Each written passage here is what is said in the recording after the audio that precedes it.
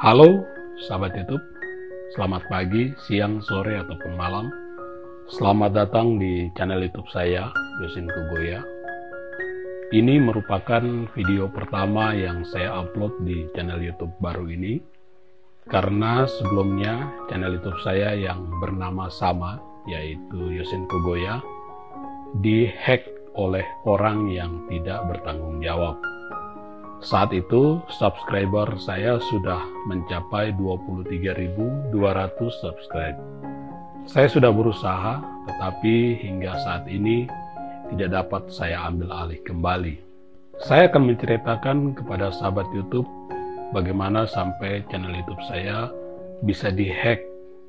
Saya berharap agar sahabat YouTube yang saat ini sedang menekuni ataupun menjadi konten kreator di YouTube dapat lebih berhati-hati lagi sehingga tidak mengalami kejadian seperti yang saya alami. Waktu itu pada tanggal 28 Oktober tahun 2022 saya baru saja menginstal laptop milik saya.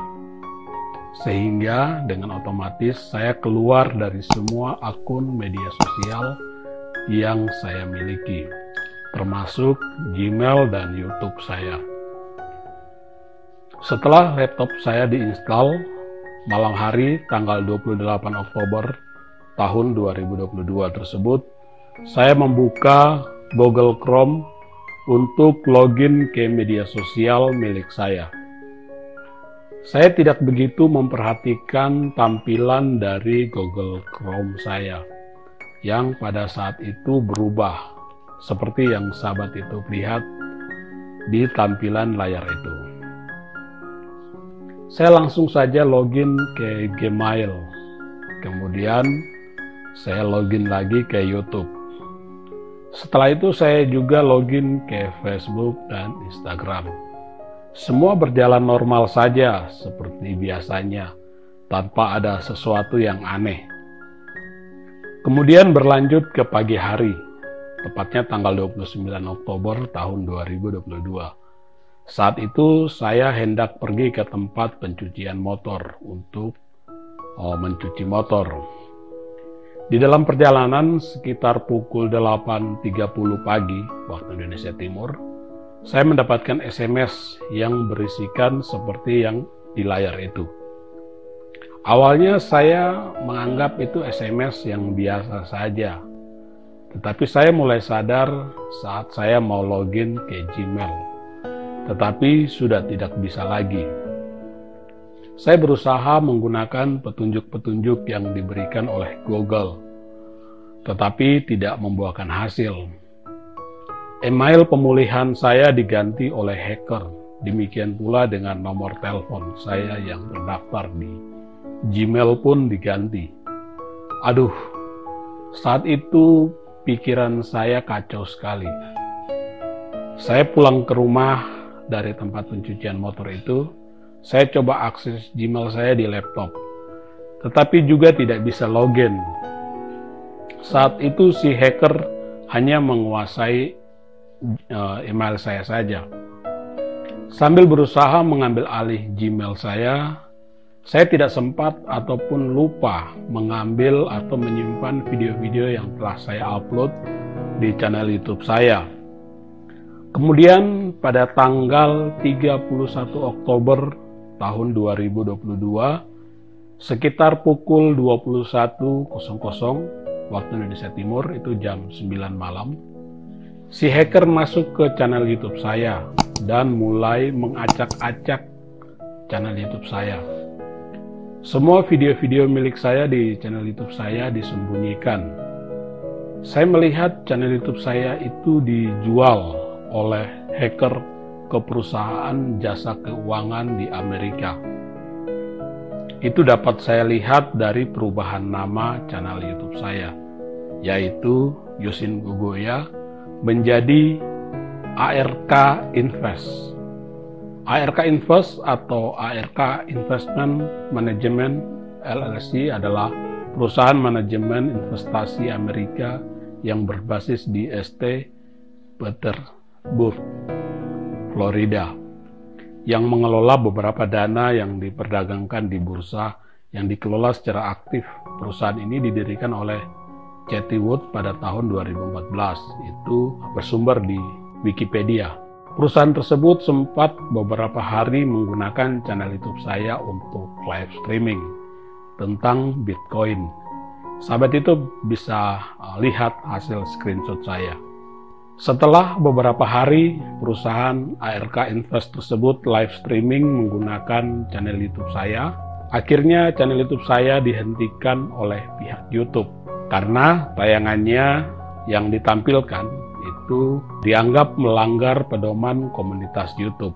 Saya sudah menggunakan semua ketentuan untuk keamanan akun Gmail saya. Tetapi kenapa masih bisa dibobol? Saya coba untuk membuka kembali Google Chrome milik saya. Saya perhatikan tampilan layar Google Chrome-nya. Saya melihat sepertinya ada yang aneh. Seperti yang sahabat itu lihat di depan layar, nama situsnya ternyata bukan Google Chrome, melainkan Find It Pro. Saya coba cari di Google, ternyata Find It Pro adalah pembajak peramban. Pembajak peramban Find It Pro memodifikasi pengaturan di peramban web. Find It Pro mengalihkan mesin pencari default dan membajak beranda di tab baru. Jadi saya sepertinya masuk dalam jebakan. Orang yang menjebak ini kemudian mengambil alih akun Gmail dan channel YouTube saya. Saya berusaha untuk mengirim surat lewat kantor pos ke kantor Google yang ada di Jakarta. Tetapi surat tersebut tidak sampai di tujuan. Kurir pengantar surat tersebut tidak mendapatkan alamat kantor Google di GPS yang digunakan.